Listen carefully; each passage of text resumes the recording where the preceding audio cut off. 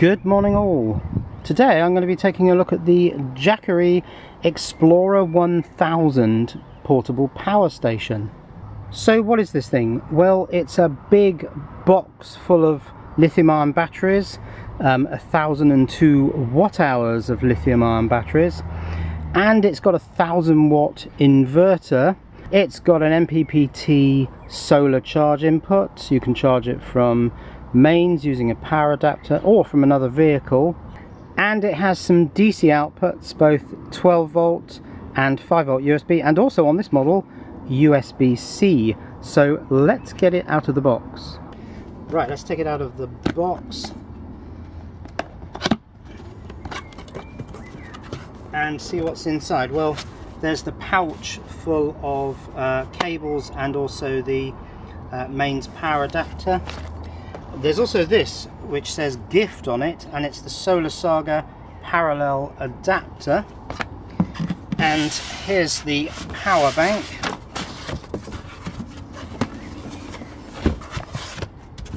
It's the Explorer 1000 also in the box are the user manual uh, the Jackery warranty card and also this which is um, register for an extra 12 months warranty. Let's take a look at the uh, front panel of the Explorer 1000 we've got two UK style shuttered mains outlets. Now they're both connected in parallel to the output of the 230 volt 1000 watt pure sine wave inverter. There's a little button there to turn the AC inverter on and off. Here there's a DC section. Now here we have 12 volts, uh, 10 amps from this uh, cigarette lighter accessory socket. And also we have two uh, 5 volt 2.4 amp USB type A's. Now I can't tell at the moment whether they're both Qualcomm Quick Charge 3.0 or just the bottom one is. We can test that. But there are two up here USB-C um, outputs. I'm not sure if these are inputs but we can also test that. At the top of the unit there's a display, liquid crystal display with a backlight. The backlight turns off quite quickly.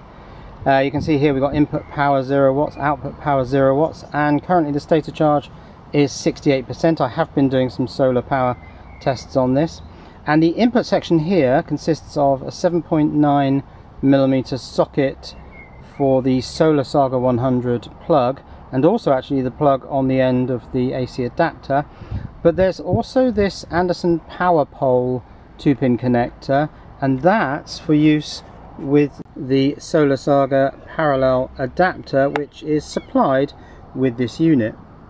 In the pouch we have the car charging lead so you can plug this into a vehicle uh, socket. I believe this is 12 or 24 volts. That has the 7.9 millimeter plug on it. Also in here is a mains uh, plug to this. I think that's called a cloverleaf connector. And the AC power adapter is this one. I'll try and get in on the details here. It is uh, 24 volt, 7.5 amps, 180 watts. On the side of the unit there is a fan outlet. This is quite heavy. I'll get the weight in a moment. There is also a fan inlet and you have a little light. Switch it on, switch it off. And if you hold the button there is an SOS feature. There's a fair old weight to this unit. It's 10 kilos, 22 pounds. Fine if you're just bringing it out from an RV or a caravan. Uh, I wouldn't want to work, walk half a mile with this thing though. It is a fair old weight. And here is a size comparison between the Explorer 1000 on the top and the Explorer 500 and 240 on the bottom step. Right, let's do some tests on the Explorer 1000. The first one I'm going to do is voltage. AC voltage of course. Let's turn on the AC pure sine output and it's looking like 230 volts. So let's press and hold this button That puts it into graphing mode. I'll just reset the scale. There's the pure sine wave output. Actually, let's get in a little closer on that. So 230.8 volts, uh, 0.05 kilohertz, which is 50 hertz, of course. And the sine wave looks pretty good to me. And watching the sine wave collapse when you turn off the AC output is quite interesting. I'll do that. And it sort of flattens off at the top. Yeah, that's quite interesting. A charging test using the mains adapter on mains. Now remember this was marked 180 watts. Well, it yields here 145 watts into this input. So let's do a DC power test from the 12 volt cigarette lighter accessory socket. That's on 2.3 amps. I'll raise that up. Six and a half amps. 10.7 amps and that's cut out so it's somewhere around 10 amps let's just quickly repeat that it's uh, producing 10.3 amps no problem 125 watts on this display. Let's gradually raise that up 10.6 10.7 10.9 and the output has dropped away. So yes this has a limit at 10 point something amps maybe 10.5 that sort of figure. It is a protected output. And I'm not sure if this is entirely visible, but the voltage at 10 amps is 12.6, 12.5 volts. The voltage at no amps is 12.9 volts. Let's check the top USB type A output. And if you can't read that, I can tell you that that's 5.1 volts, 2.3 amps. So let's wind the amps up. and I've wound that up to the maximum that this tester will take which is 3 amps. And there's no dip in voltage at all. It's 5.1 volts at 3 amps. Let's try that on the bottom socket. Uh, Qualcomm Quick Charge 3 and once again 5.1 volts no dip in voltage 3.0 amps. Um, there's no current limiting on these. Well certainly not up to 3 amps Let's do some Qualcomm quick charge tests. So the bottom socket seems to support quick charge 2. If I press the button it goes to 9 volts. If I press the button again it goes to 12 volts. Press the button again it doesn't seem to go to 20 volts so it seems to be limited within the range 5 to 12 volts. Let's switch to quick charge 3 uh, seems to support quick charge 3 I'll have to press this button a few times to get it to move from the 5 volt range into the 9 volt range which it has done. So yes it certainly seems to support quick charge 3 let's plug it into the socket above which may be just labeled 5 volts 2.4 amps. It may not be quick charge. So that's come on. Uh, we're getting a rapid flash there. I'll switch to quick charge 2 try to raise it to 9 volts and no that one doesn't seem to be Qualcomm quick charge compatible. So I think it's just the bottom socket that's quick charge. The socket above seems to be vanilla USB type A 2.4 amps. So checking one of the USB type C outputs I'm using my RAV Power USB type C power bank. Now I know this goes up to 20 volts. Uh, so let's switch on and see what we get and on the Ruideng display we're getting 12 volts. And that I think concurs with the manual. Because here it says 2 times USB-C PD output 5 volt 3 amp 9 volt 2 amp 12 volt 1.5 amp. So it doesn't go above 12 volts. And pressing and holding the button on the RAV power which I know will change direction if you're connected to another USB type C power bank which can also work as an input. Doesn't happen. This is still receiving. So my belief is that these two sockets do not work as charge inputs. And the current that my RAV power power bank is pulling at 12 volts is 1.51 amps. So that would appear to be the limit the maximum that can come out of these USB type C's. I'll just confirm that with the other socket but I imagine it'll be the same And yes, it's 12.1 volts, 1.51 amps. So 12 times 1.5, that's 18 watts. So again, testing these USB Type-C outputs, I can coax out of it 5 volts, 9 volts, and 12 volts, but nothing beyond that. 12 volts is the maximum. Press it again and it goes back to 5 volts. Now I'm actually using this uh, USB meter in reverse, but it doesn't matter for voltage, it just wouldn't show any current if I was drawing any. So just for fun, let's put a load on the output of this uh, PD trigger. And that's 5 volts into the lamp. That's 9 volts. And that's 12 volts. We can see that on the 24 volt bulb. And uh, in this mode, the meter shows 0 amps, but that's only because I'm running it backwards uh, through the meter and it's not designed to show amps in the reverse direction. So now I'm just charging the Explorer 1000 with the AC adapter. When it gets to 100% I will do a full discharge test. So for my high power tests on the pure sine wave inverter I'm going to use this oil filled radiator and I believe the settings are 800 watts, 1200 watts and 2 kilowatts so let's try that out on the Explorer 1000.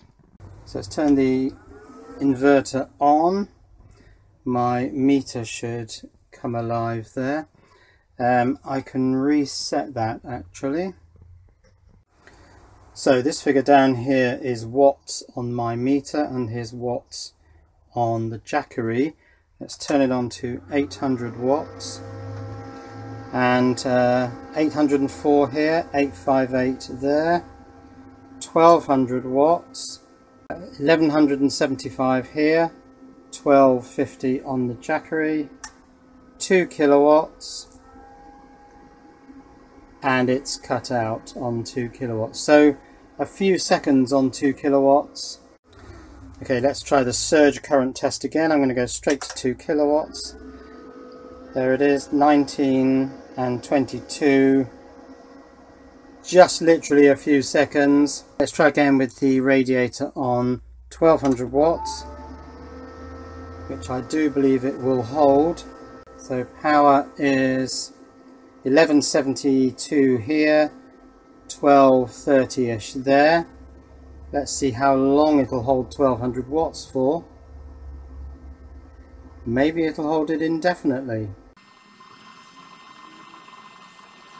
Well, it certainly doesn't seem to be rushing to shut down at what is shown here as 1160 watts. Here is 1220, bit of a discrepancy there. And I can hear the clicks and bangs from the oil-filled radiator as it's warming up. So I would say that this is quite happy holding 1200 watts uh, indefinitely, I would say. Well, I suppose I should qualify that. It appears to be able to hold 1200 watts but of course there may be some sort of gradual overheat situation which would make the Jackery shut down at this power level. Fact is, I don't know. And during the charge cycle I've noticed that even at 94% it's still charging at 145 watts.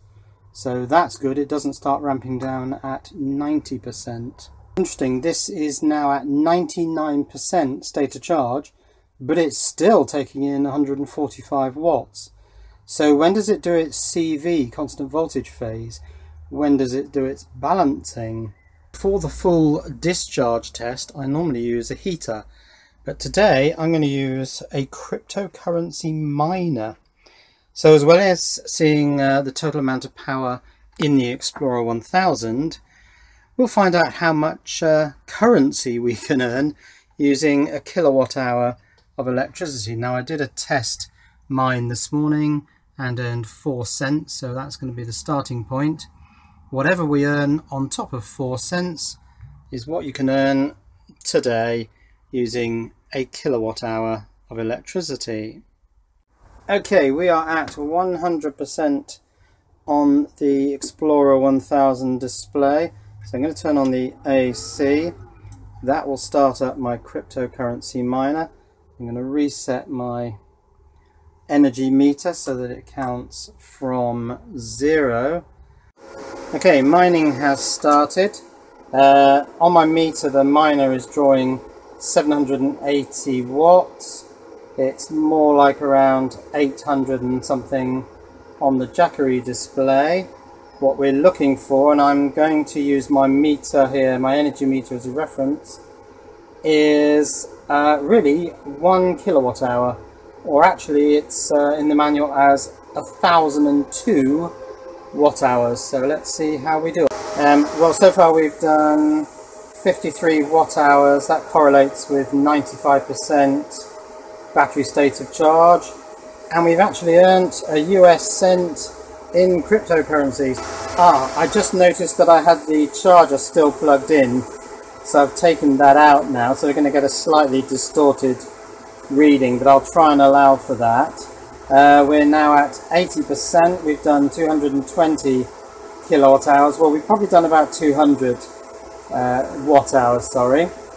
And uh, we've also made four US cents, uh, five US cents now, in cryptocurrency. See you at 50%.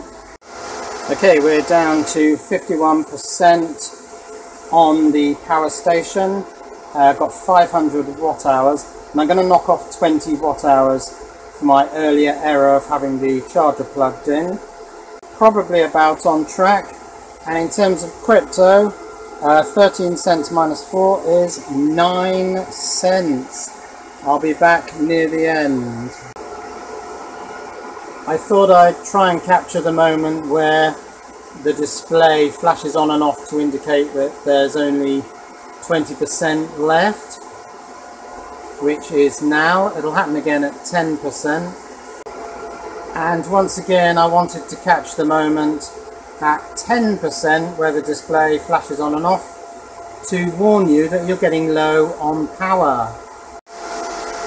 And uh, the Explorer 1000 is now down to 2%. That's dropping quite quickly. I expect it to uh, shut the AC off fairly soon and of course the drone of the cryptocurrency miner will disappear which will be a bit of a relief but we'll just wait for it to get down to 0% and then we'll get the final tally of course my energy meter will switch off but that's okay because it's got a battery backup so we can read the final figure from that. How are we doing in terms of cryptocurrency? Well, 22 cents minus the 4 cents that I started off with, that's 18 cents in cryptocurrency for 1 kilowatt hour of energy. That's a lot better, oh my laptop switched off, that's a lot better than the smart export guarantee where they're promising me about 4p for uh, pence per kilowatt hour so you're better off mining than exporting to the grid.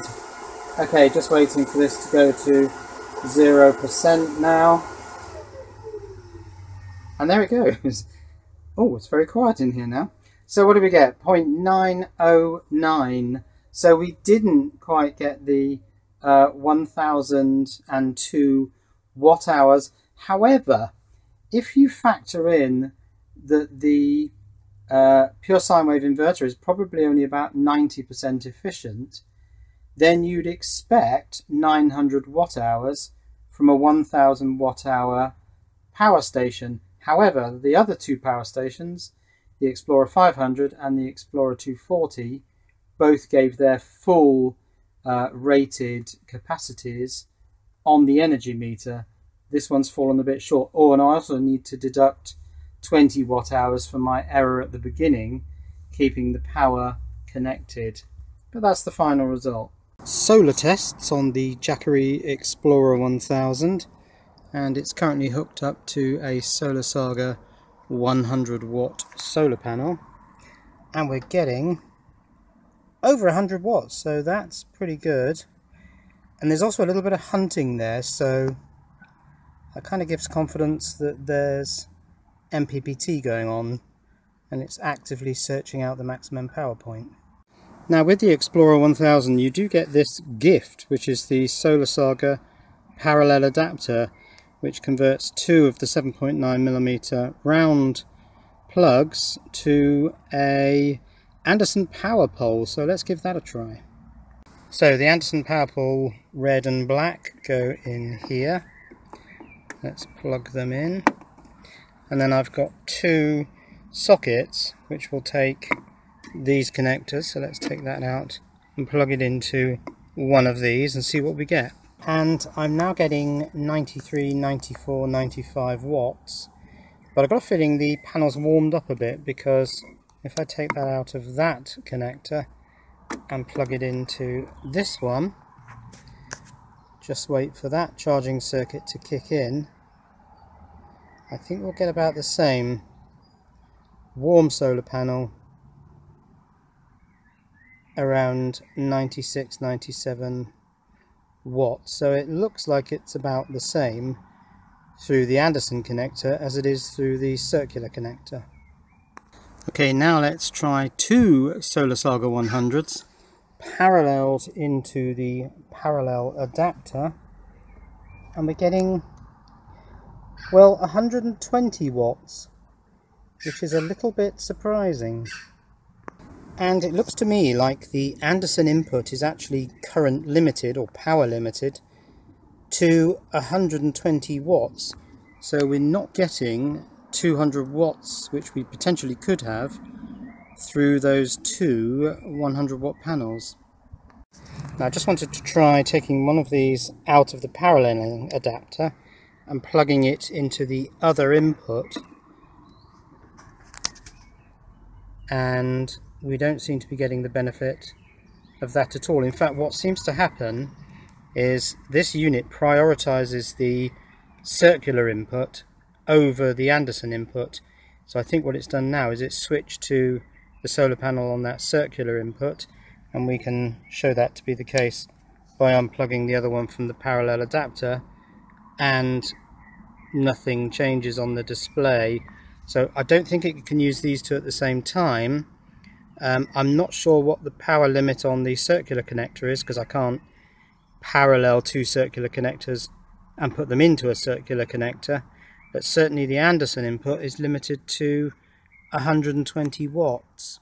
Now I have a theory about this Anderson input. Um, possibly it and its charging circuit and this paralleling adapter were designed for the Solar Saga 60 solar panel. So you put two of those in parallel and that's 120 watts. Um, the only other mitigation I can think of for this 120 limit is for overcast skies so if you've got two panels not in full sun, say each of them is developing 50 watts, then of course by paralleling two you will get 100 watts, but as it stands this input circuit limits the power to 120 watts. Using the AC adapter into the round input socket, approximately 145 watts. Now what if I put the AC adapter into the paralleling connector, what does the other circuit give me?